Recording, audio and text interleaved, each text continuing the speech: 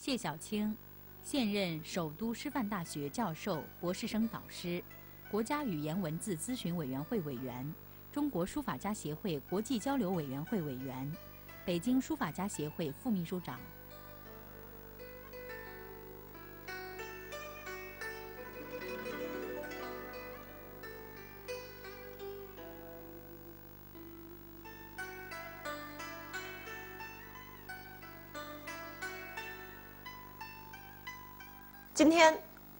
我们首先要来看一看祝允明。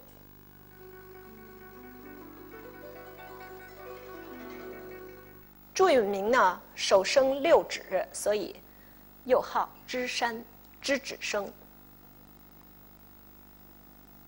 他在书法史上最大的影响，大概是草书和小楷这两样。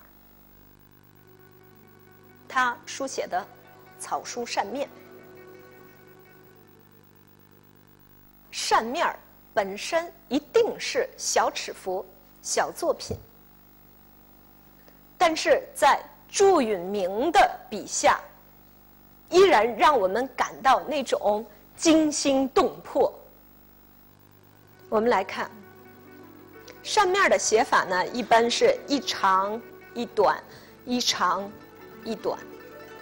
但是大家看，注意明写到这儿的时候，哎，怎么突然比别的行都长了呢？所以我猜想啊，估计是写的一时兴致，顺手而下，多写了一字儿。大家看这个“攀并抛碑”这四个字，按理说写到这里就可以了。接下来写了个“碑”字，这一个“碑”一写，那大家想。后面的就要受到影响，所以“懒少”这两个字和“抛碑”之间的这种腾挪跳荡，非常的活泼。“抛”字出来，“懒”字往里写，插进来以后，你看这“少”呢绕着它走，而且呢，它已经低了。如果他写的短了，那势必这两行要快取齐了，所以他尽力往下拉。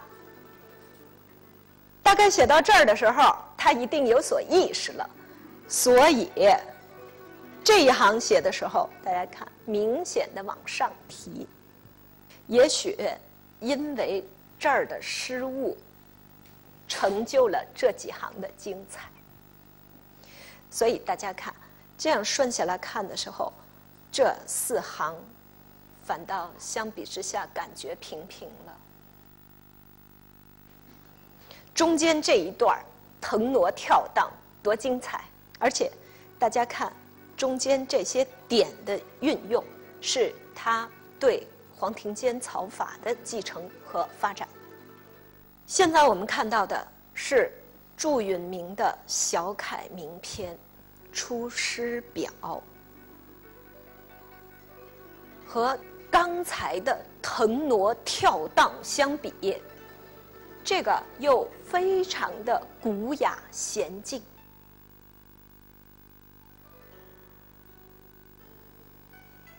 所以，我们结合孙过庭的书论讲，既能小楷又能狂草的人。他一定是悟通了书诀，他对书法上的理解一定是通的，所以在动静之间掌握自如，既能扩又能收，既能古又能今，既能放更能收，所以这对我们今天学习也是一个启示。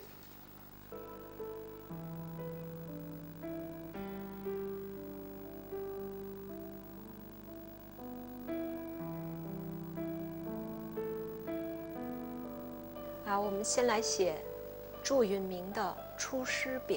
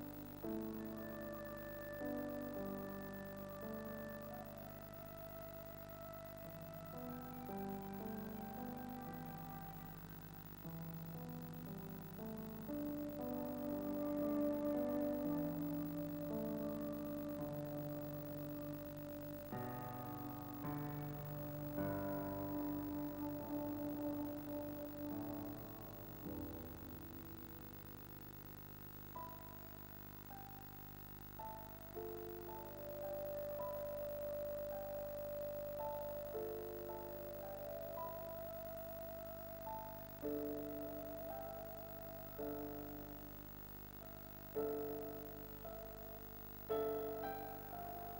you.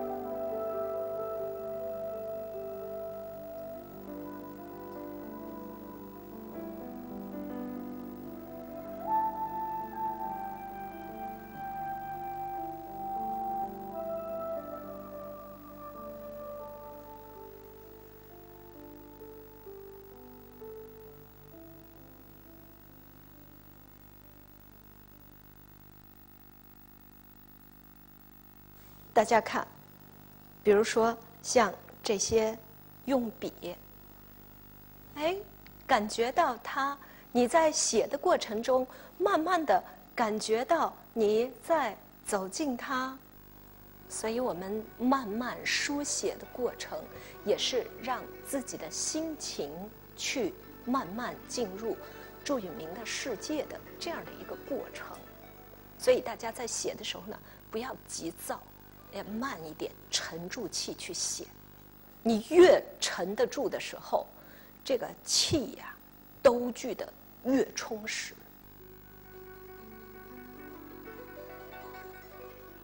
现在我们看到的是文征明的作品，这是文征明书写的行书《游天池诗》，大家一眼就能看出来，学的谁？黄庭坚。这种辐射的结构、颤抖的笔触，和黄庭坚如出一辙。这一幅呢是文征明书写的《赤壁赋》，感觉里面呢黄的东西略少了一点，但是在这些地方还是有所显示。现在我们看到的这一幅扇面儿，这样的行书面貌是我们比较熟悉的文征明的面貌。写扇面呢。有两个弧度，外面一个大弧度，这个好掌握，一般写的比较齐。下面呢有一个小弧度。从这个上面，大家看每一行的墨一字下来，如果我们画一道弧线的话，非常的严整。这是文征明超人的功力。而他呢，给我们流传下来更多的是他的小楷作品。现在看到的是文征明书写的，这个呢，由于是石刻出来的，所以给文征明秀润爽利的笔道里面，更增加了一些沉稳，这也是刀赋予笔的意外之奇。文征明呢？在书法史上，以功夫了得著称。所以他到八十的时候还能写蝇头小楷。接下来呢，练习文征明的小楷。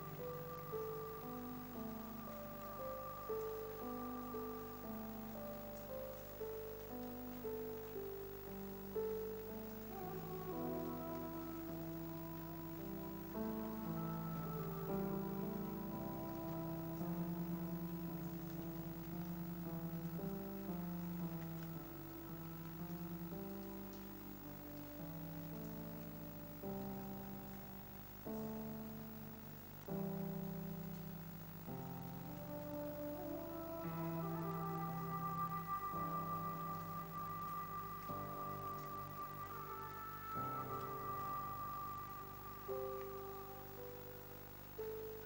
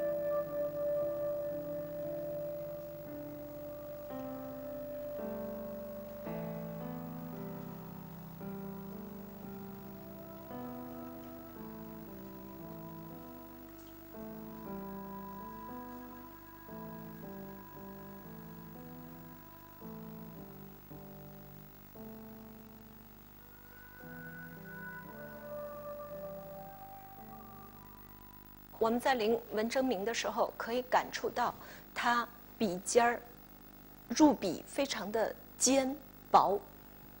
临摹的时候呢，我们需要保持这一特点，但是我们在创作的时候呢，可以辩证的去吸收。比如说，我们可以把文征明的爽利和祝允明的拙朴结合在一起，慢慢的通过临摹练习，形成自己的小楷风格。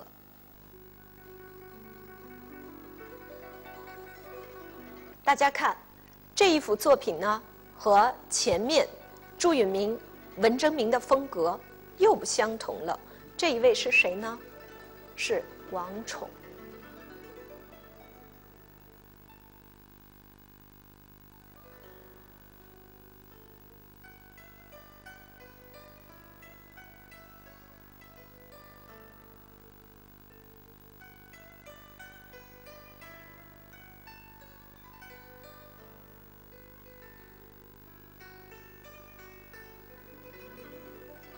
这是一幅行书作品，但是呢，很多楷书的字形和用笔，所以感觉意荡疏朗。现在大家看到的这幅扇面，也是王宠的行书作品。可惜的是，王宠活的年龄很短，三十九岁就去世了，还不到不惑之年。所以我们看。王宠这么小的年龄，他笔下都没有被烟火气熏染过，那一种青涩和灵气，永远保留在这儿。或许这也是历史让我们对他感到怀念和赞叹的地方。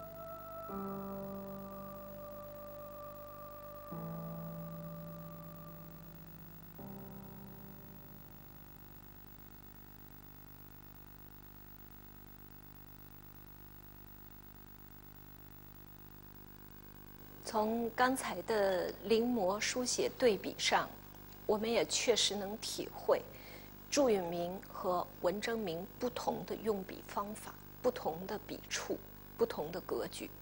而且我们发现吗？从祝允明到文征明的时候，你看这个转化过来，我们需要一段时间去适应。写小楷呢，难就难在这里，它比较慢热。你大概得写上一周之后，慢慢的手才能顺了。小楷不是说我们哎，这会儿我有时间啊，我坐这儿我写。所以它不是这样的一个创作状态的。所以也希望大家回去。有时间的时候呢，慢慢的去当成抄书一样的去抄写。所谓的墨磨人，字磨人，也练自己的心境。如果我们能够多从名人的小楷中去汲取一些东西的话，也会使我们一方面小楷的书写水平提高，另外一方面呢，使自己的情操更加高洁。好，今天的课就讲到这儿，谢谢大家。